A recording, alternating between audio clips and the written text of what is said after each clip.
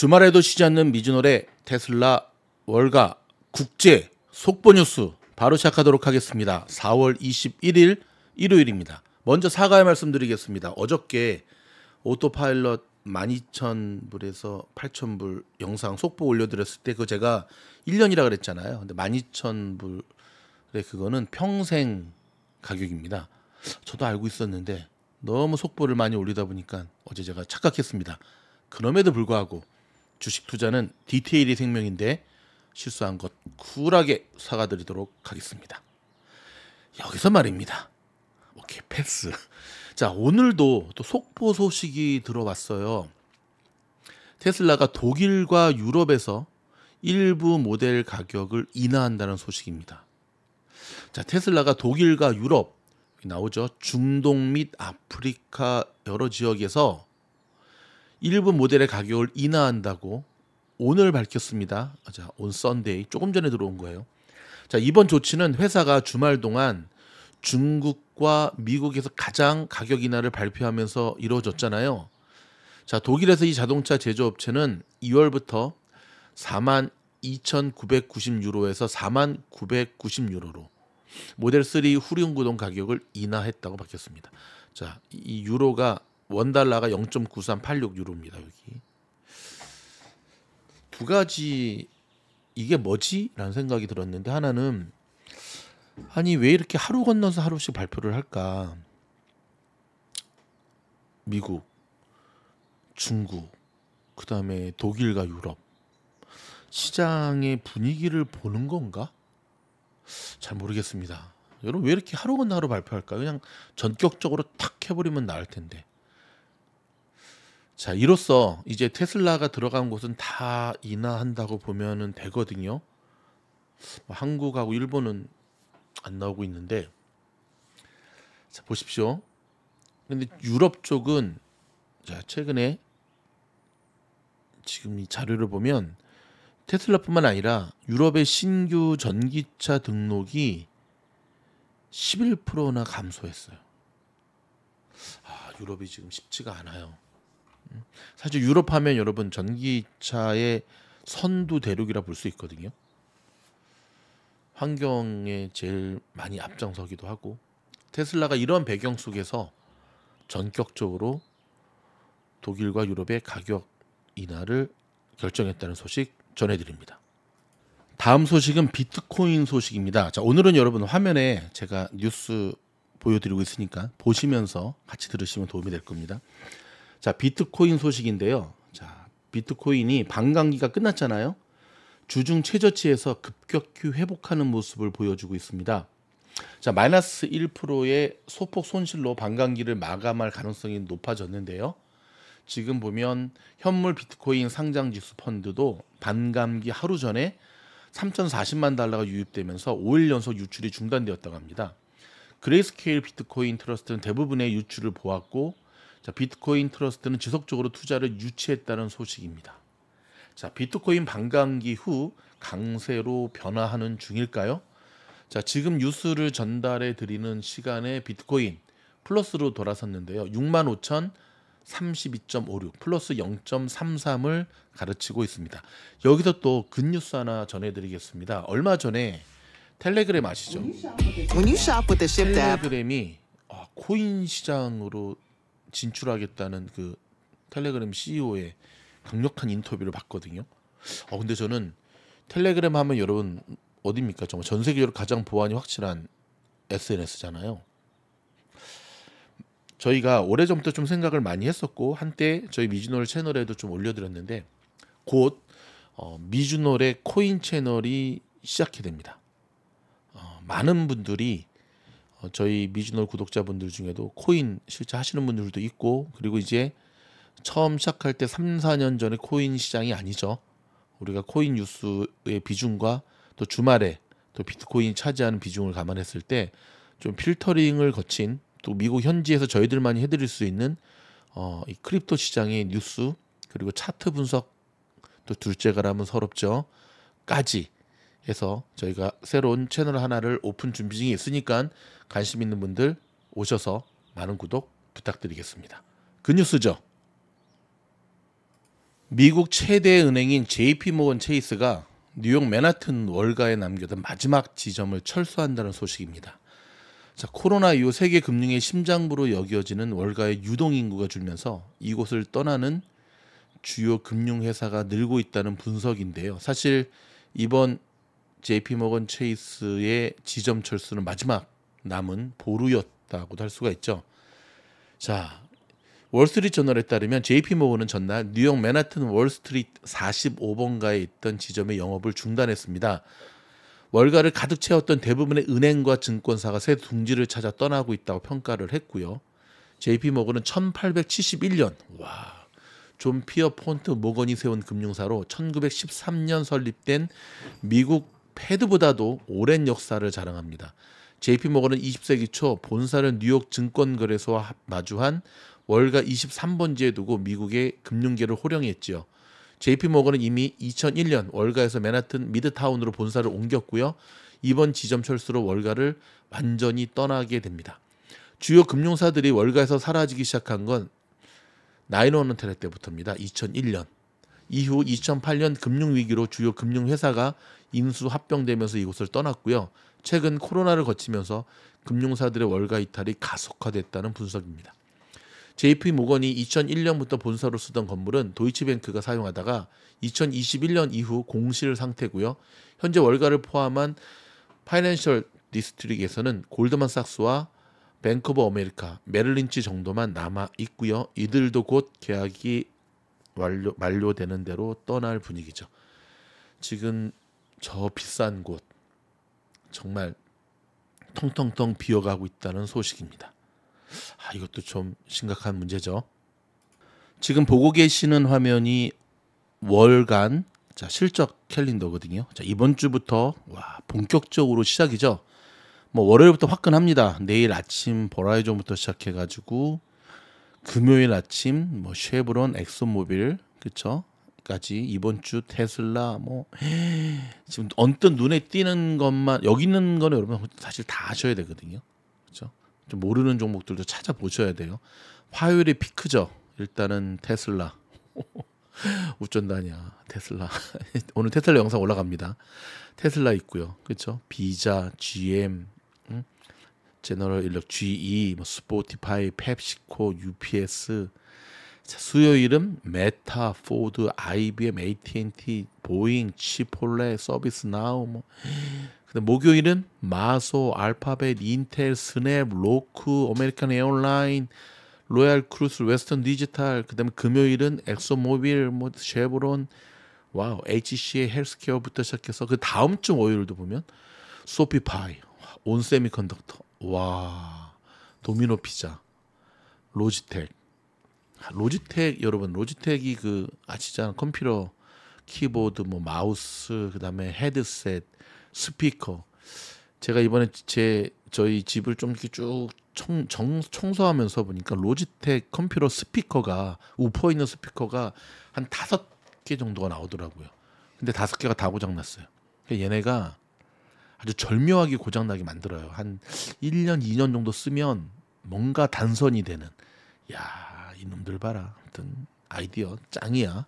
그다음 다음 주 화요일 같은 경우는 AMD, 아마존, 슈퍼마이크로 컴퓨터, 슈마콤, 페이팔, 일라일리, 스타벅스, 맥도널드, 3M.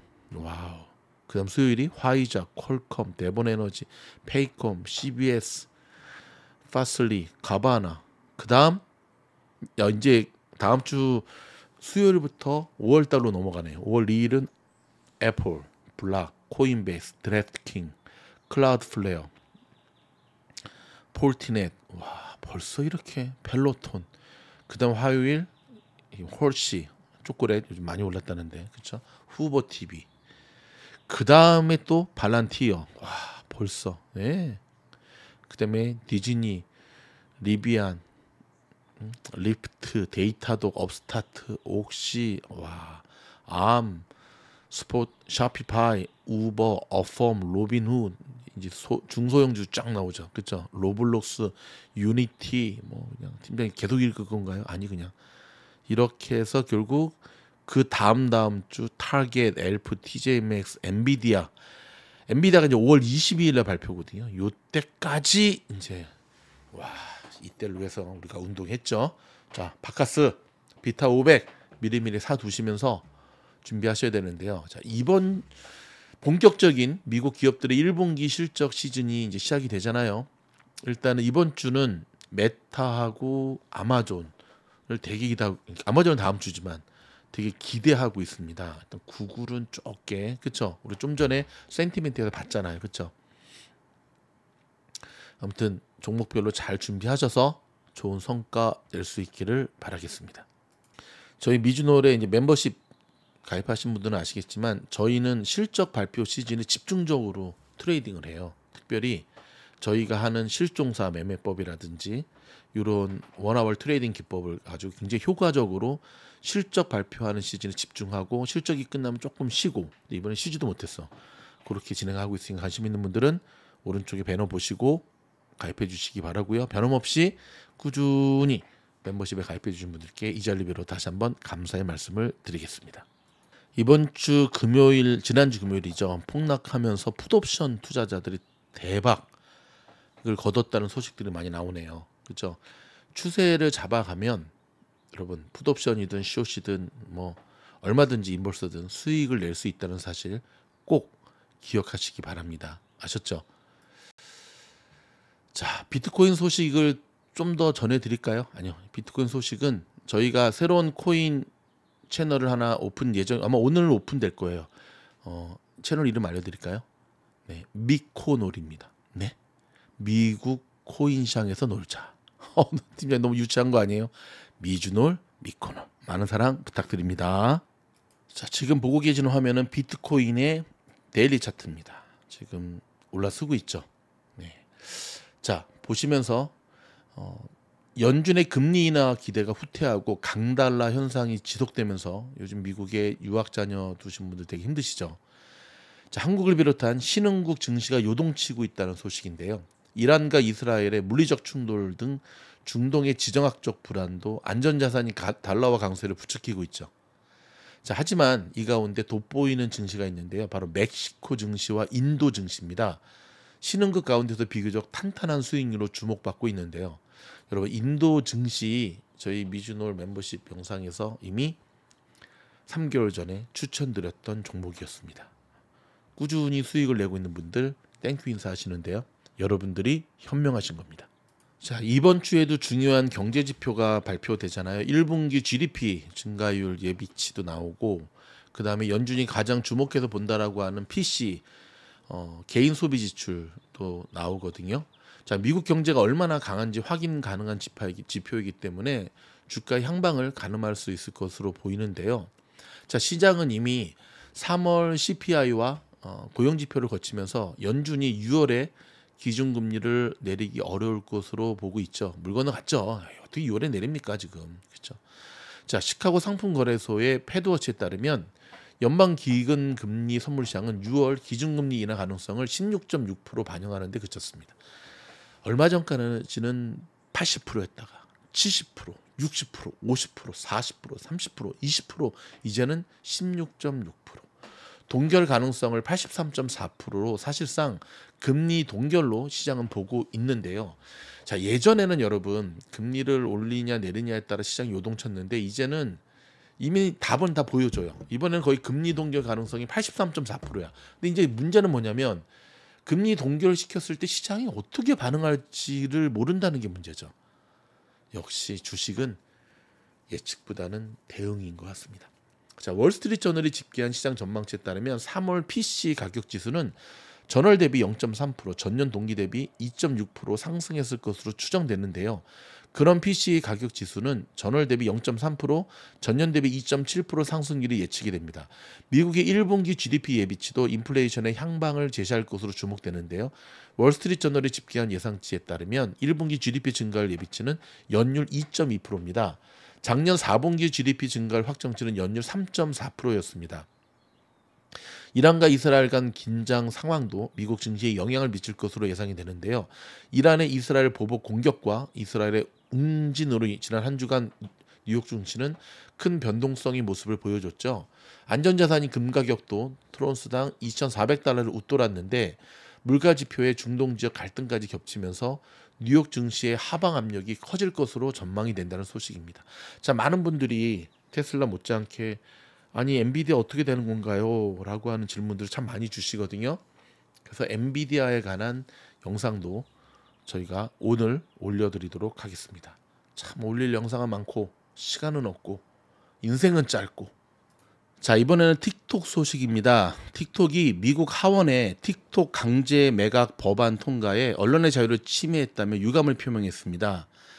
자 21일 로이터 통신에 따르면 틱톡의 모기업인 바이트댄스는 성명에서 미 하원이 중요한 외교 및 인도주의적 지원을 명분으로 1억 7천만 미국인의 언론의 자유를 짓밟는 금리 금지 법안을 다시 한번 통과시킨 것은 유감이라고 밝혔습니다. 미국 하원은 전날 틱톡 강제 매각 수정안, 이란 미사일 및 드론 석유에 대한 제재, 압류된 러시아 자산의 우크라이나 이전 등의 내용이 담긴 21세기 힘을 통한 평화 참 제목 좋네요. 법안을 찬성 360표 대 반대 58표로 가결했습니다. 이 법안에는 지난달 하원이 처리한 틱톡 강제 매각 법안을 수정안으로 틱톡의 모회사인 중국의 기업 바이트댄스가 270일 안에 틱톡이 미국 사업권을 매각해야 한다는 내용이 담겨 있는데요. 기존 매각의 법안의 매각 기한은 180일이었습니다. 조금 연장이 좋네요. 그렇죠? 틱톡. 틱톡에서 비즈니스 하시는 분들 되게 많거든요. 이번에 타격이 많이 클 것으로 예상이 되고 참 어려운 문제 같은데요. 어찌됐든 대세는 틱톡 퇴출로 지금 이어지고 있는데 그래서 이제 반사 이익을 얻는 그러니까 틱톡이 미국에서 퇴출이 되면 어떠한 기업, 어떠한 플랫폼 그래서 메타가 최근에 잘 가는 것일 수도 있는 것 같아요. 그렇죠? 이런 것도 투자에 참고하시기 바랍니다.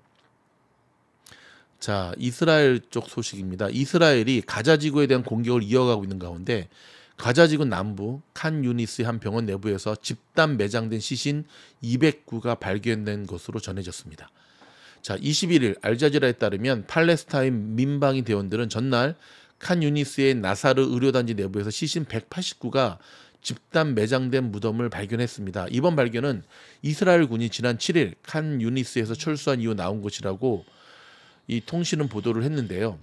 대부분은 이스라엘 군의 지속적인 폭격 등으로 인해 현재 폐허가 된 상태입니다.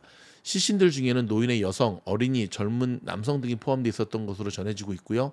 팔레스타인 긴급 구조대는 향후 며칠간 시신 수습, 어, 수색, 수습 작업을 계속할 것이라고 밝혔습니다. 앞서 몇 일주일 전에는 가자지구 최대 의료기관인 알시파 병원에서 최소 300 여 구의 시신이 집단 매장된 무덤이 발견됐다는 소식이 알려지기도 했습니다. 이는 그 인근에서 발견된 여러 대규모 무덤 중 하나였는데요. 가자지구 보건당국에 따르면 이스라엘의 가자지구 공격으로 인해 현재까지 약 3만 4천여 명 이상의 팔레스틴이 목숨을 잃었고요. 사상자의 최소 3분의 2는 어린이와 여성인 것으로 전해졌습니다. 많은 시신들이 공습으로 파괴된 잔해 아래 깔려 있거나 접근이 어려운 지역이 있기 때문에 실제 피해 상황은 더 클 것으로 전해지고 있습니다. 이래서 전쟁이 나면 어린이와 여성들이 가장 큰 피해를 보죠. 전쟁은 어떠한 명분으로도 용납이 될 수 없고요. 빨리 종식될 수 있기를 바라겠습니다. 참 많이 안타까운 소식이네요. 주, 지금 중국이 또 홍수 때문에 큰 위기에 빠졌다는 소식이네요. 중국의 남부 광둥성에 사흘간 폭우가 내려서 물에 잠긴 지역 주민들이 대피에 나서는 등 피해가 커지고 있다고 합니다. 자, 강저우시도 인구 800만 명인데요. 주변 저수지 수위가 경고 수준에도 달하면서 위기 경보가 발령되는 등 중국 당국이 긴급 대응에 나서고 있다는 소식입니다. 아, 지금 중국 뭐 전 세계가 기후 변화로 인해서 지금 몸살을 앓고 있는데 여러분 이 기후 변화, 이 지구 환경 이거는 정말 우리가 발 걷어붙이고 나서야 되는데 이게 참 쉽지가 않네요. 그렇죠? 트럼프 전 대통령 소식입니다. 지금 발벗고 뛰어도 모자를 판에 법원에 발이 묶여가지고 법률 비용만 하루에 2억 원씩 든답니다. 와 대박이네요. 좀 들여다볼까요? 자 트럼프 전 대통령이 하루 평균 2억 원 가량을 법률 비용으로 사용하고 있는 것으로 집계가 됐는데요. 트럼프 전 대통령은 성추문 입막음 의혹 사건 재판도 본격 시작돼서 자금 부족 문제가 지속될 것으로 전망을 했습니다. 자 워싱턴 포스트지는 연방 선거위원회 자료를 분석한 결과 트럼프 측의 리더십 PAC인 세이브 아메리카가 트럼프 전 대통령과 그의 측근들 법률 비용으로 약 460만 달러를 지출했다고 21일 보도했습니다. 이는 트럼프 측 선거 자금 지출의 26% 수준입니다. 자, 마지막 소식은 일론 머스크가 들으면 참 기뻐할 소식입니다. 남미 양대 국가인 브라질과 아르헨티나의 우파 지도자들이 최근 자신들의 친자유주의 자유주의적인 면모를 부각하는 과정에서 일론 머스크를 극찬하거나 머스크와의 관계를 강조하고 있어 눈길을 끌고 있습니다. 자이르 보나 자이르 보소나르 전 브라질 대통령은 자 리우데자네이루의 코파카바나 해변에서 법치와 자유 수호 집회에 참석했다고 자유당이 밝혔는데요. 자, 이 전 대통령은 집회에서 대선 패배 불복 폭동 조장 혐의 등 자신에 대한 검찰과 경찰의 수사를 전면 반박하면서 루이스 이나시우 룰라 다시우바 대통령 및 알렉산드리 지 모라이스 브라질 대법원장에 대한 비난을 쏟아냈습니다. 그는 이어 머스크를 거명하면서 자유의 수호신이자 신하 같은 사람이라고 치우켜 세운 뒤 머스크는 우리의 민주주의가 어디로 가고 있는지 우리가 이미 얼마나 많은 자유를 잃었는지 보여줄 용기를 가지고 있다고 말했습니다. 구스타브 가이어 하원 의원도 연설 때 올라서 머스크가 듣고 있을지 모르니 영어로 말하겠다며 우리를 보세요. 언론 자유를 위해 싸우는 우리가 세계의 희망이라고 목소리를 높였습니다. 이에 일부 지지자는 미리 준비한 머스크 얼굴 가면을 손높이 들며 이에 화답하기도 했습니다. 브라질 우파 정치 행사에서 나온 다소 뜬금없는 머스크 칭찬은 브라질 대법원의 어, 트위터 제재 움직임과 연관되어 있는데요. 트위터는 아시다시피 머스크 거죠. 최근 브라질 대법원은 일부 X 계정이 민주주의를 훼손할 목적으로 허위 정보를 전파하고 혐오를 조장하고 있다는 이유로 해당 계정 폐지를 명령했고 머스크는 이를 무시하겠다는 취지의 글을 올리며 맞선 바 있잖아요. 대법원장 들이다 깠죠. 다만 X 트위터의 브라질 현지 사무소는 법원 명령 준수 의사를 담은 세쪽 분량의 문서를 브라질 대법원장에 보냈다고 로이터통신이 보도한 바 있는데요. 이런 상황에서 자 보소나루 전 대통령을 비롯한 브라질 우파 정치인들이 머스크 띄우게 나선 것은 이를 통해 법원이 언론 자유를 훼손하는 방식으로 권한을 남용한다는 주장을 펼치면서 불공정한 사법부 프레임을 부각하려는 포석으로 풀이가 됩니다. 보우소나루 전 대통령은 재임 기간 중에 2019에서 22년 사이 대통령이었습니다. 머스크와 만나 스타링크 사업을 비롯한 투자건에 관해 이야기를 나눈 등 몇 차례 접촉한 바 있으나 이번처럼 머스크를 칭찬한 사례는 거의 찾기 힘들다고 현지 언론 G1은 전했는데요. 브라질의 이웃나라 아르헨티나의 하비에르 밀레이 대통령도 머스크에 대한 강한 호감을 표시하고 있습니다. 전 세계 주요 언론들로부터 구구 성향 자유주의자라고 평가받는 밀레이 대통령은 그간 온라인에서 머스크와의 회동 의향을 여러 차례 밝힌 데 이어 최근에 미국에서 직접 만나 브로맨스를 과시하기도 했죠. 밀레이 대통령은 자유경쟁 이념에 기반한 글로벌 기업 투자에 적극적으로 나서고 있고 머스크 역시 테슬라 배터리에 필요한 리튬 개발 등을 위해 리튬 부국 아르헨티나에 관심을 보이는 것으로 알려져 있습니다.